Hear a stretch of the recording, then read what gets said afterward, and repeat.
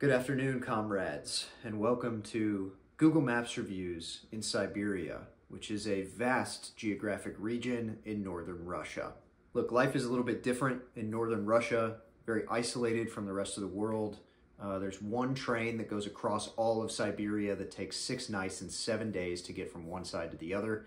So there's a lot of these tiny little communities scattered throughout Siberia with very small restaurants, very small stores, very small communities, and some very, very funny Google Maps reviews. I found this restaurant called Burger Khit, which I guess is like Burger King if you live in this town. Burger Khit is located in Litsa Petra Alexevia Sakha Republic, Russia.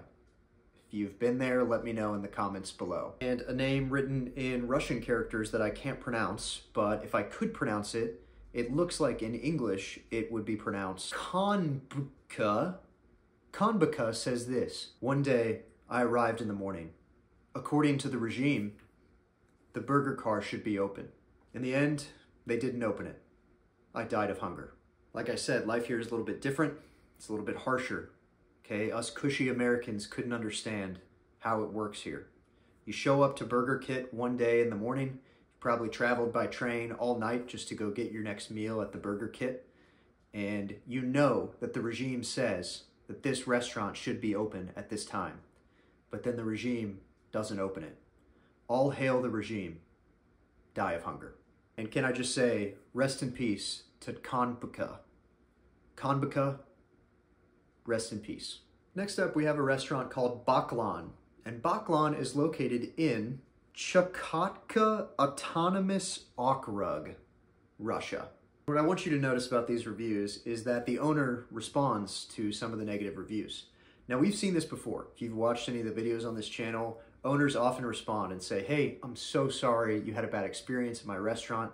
What can I do to make it right? Long John Silver's has a history of responding to bad reviews with ahoy there and then apologizing for the experience you had and seeing what they could do to make it right. But this owner in northern Russia is a little bit different in how he responds to negative reviews. For example, this person, whose Russian name looks like it's pronounced in English as Ahapin, Ahapin says this, now called Fed Dad. You can eat. Service, food quality could be improved. The owner responds, Go for a walk, he doesn't like the service. It's a bold move. I mean, you have a small town restaurant, you're trying to get people to come in, and somebody just says, hey, four stars, service could be improved. Go for a walk, homie.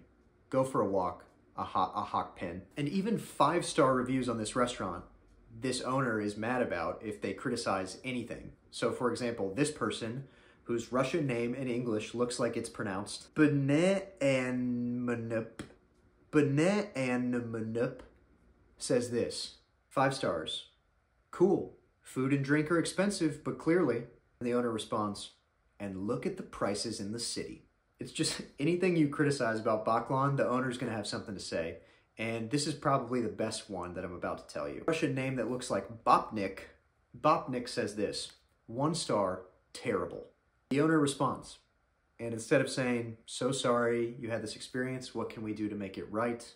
Like a wimpy American, this Russian in the cold, harsh winter of northern Siberia simply says, Go eat your oats, dog. I just want you to imagine that this happened in America. This would be incredible if Chipotle, somebody left a bad review and they responded, Go eat your oats, dog. I mean, this this is life. This man is living life. He owns this restaurant. He knows he can absorb the consequences. Too bad for you. I, I just have one thing to say to the haters out there who like to hate on my videos. Um, I just want to leave a response from the owner of this channel, and that is simply this. Go eat your oats, dog. Next up, we have a review from our friend whose name looks like it's pronounced Inbo. And Inbo says this about a restaurant called Papa Grill, which I thought was a very unique name for a restaurant. This Nifor with a cross on his face, I, by the way, I don't, I don't know what a Nifor is, if that is a curse word. I'm so sorry. This Nifor with a cross on his face infuriates me for the second time in a year with his womanish behavior. Where you just need to remain silent, he always inserts his two cents. The third time, I will definitely meet him near the service entrance and give him the butt. I think something might be getting lost in translation here because that phrase, I, I don't think it means the same thing in Russian that it does in English. However, I do think it's a very funny turn of phrase to think of hitting somebody in the face as giving him the butt. If you're gonna go fight a schoolyard bully and uh, you were like, man, I'm gonna give that guy the butt. Uh, that would not really intimidate me. Okay, next up we have um, something that I just noticed as I was scrolling around Siberia. I was zooming in on just random places, scrolling, zooming in, trying to find little small towns with places that have reviews on them. And I noticed this giant hole on the earth on the map. Like a big, notable, like the size of a city hole on a map. So I zoomed in a little bit and I noticed there's actually an entire town there. And it's an old mining town. And this giant hole that you can see from space is a mine that mined diamonds for a long time. It just shut down. But you can see this thing from space and there's a city built next to it because it used to function as an actual mine. And the reviews on this giant hole on the earth are so good. So let me read you some. Ben says this, not the best golf course in the world, but worth a visit. That is very funny. Um, it's like Top Golf. This is basically Russian Top Golf, if you think about it. Jeffrey says this, I threw my mother down the hole, and it filled up pretty nicely, but I still hear her nagging. That's why it's not five star. Pretty good. He called his own mother fat in this review, claimed that he committed the crime of throwing her down a hole, but evidently she survived because he can still hear her nagging. And that's why he didn't give it five stars, which makes perfect sense to me. Now, this person, Tobias, doesn't overtly admit that they've committed a crime, but he does say this. Great place, visited with my family, came home 459 pounds light. Now, either he lost an excessive amount of weight, like Nikocado avocado amount of weight loss at this hole in like a day, or he threw his family down the hole. And I have to think it was probably the latter. And now, perhaps my favorite review of the hole from Sean, who says this I can't believe no one helped Simon's mom up after she fell. Simon, I am I'm so sorry for your loss.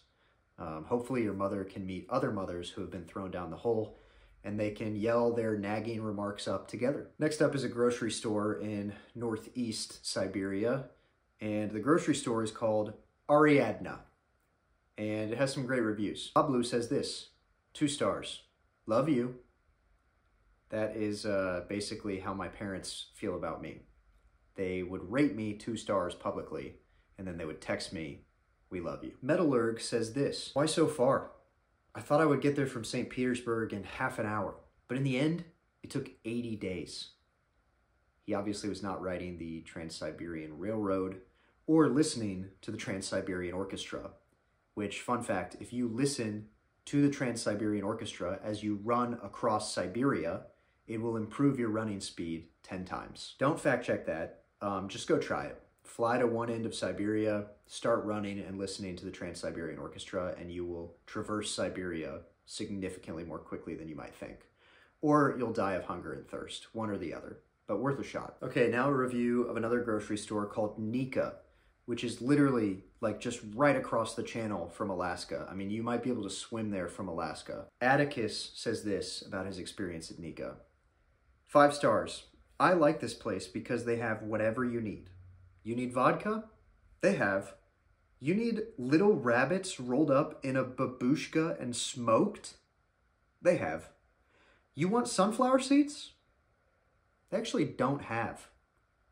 If you want sunflower seeds, you have to go to Okhotnik. A very alarming review from Abdullah who says this, A question. When you arrive to such this place, can you see the other side, the boundary of America land? He then paints a picture with a map that shows how close this store is to Alaska. And it's very concerning because I think that he might actually try to make the swim. That is very concerning. Abdullah, please do not do that. Especially considering Abdullah, whatever you need, you're not going to find it in America. You're going to find it at Nika. They have vodka, they have little rabbits rolled up and smoked in babushkas. They just don't have the sunflower seeds. Brian says this, during the pandemic, they ran out of toilet paper at the Walmart in Anchorage, so I decided to cross the strait in my fishing boat and see if they had any toilet paper here. Lo and behold, they did. 11 out of 10, store would get almost torpedoed by a Russian nuclear sub again. Thank you, Brian. I'm glad you found some toilet paper. Perhaps the best review that we could read of Nika comes from Yvette, who simply says this. And, and, to the end, when you are ready for a reason to go away and he is going on in his life, since we will pray tonight for the game on Saturday morning at 59, I have to be in his life since we will pray tonight and tomorrow morning at 1. I have had to do it, was a pleasure to go away, and he is going on in his life, since we will have the dream team to be there for a good promise you tonight and tomorrow morning at 59.59. Couldn't have said it better myself. Thank you so much, Yvette. Lastly, I found a tiny movie theater on like the northern edge of northern Siberia, one of the most remote places on earth. Alberto says this about his experience at this most remote Russian movie theater, maybe the most remote movie theater on earth. Five stars. There was a very strange door in the toilets. It seemed like a passageway to a universe. I entered and found Cristiano Ronaldo smoking a cigarette camel.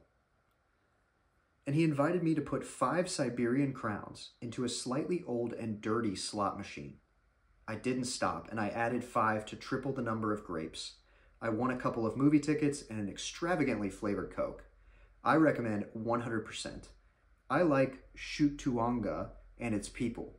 It's very hot though. Bring a swimsuit to bathe in the public pools that are scattered throughout the shanties what Cristiano Ronaldo was doing at this movie theater in northern Siberia, encouraging people to gamble on the slot machine in the back room so they could win free movie tickets. I don't know. Your guess is as good as mine. And perhaps he's still there. And so if you're a Ronaldo fan, I would encourage you to check out this movie theater. Maybe head up there and just go to the toilet, see if he's there. Um, chances are you could get a great meet and greet. I don't think a lot of people are visiting him up there. If you're still watching this, I love you more than Russia loves the cold and Russia loves the cold. It's the only way that they've survived um, several invasions is because of the cold. Thank you so much for watching. Hope you're enjoying the content. See you next Friday.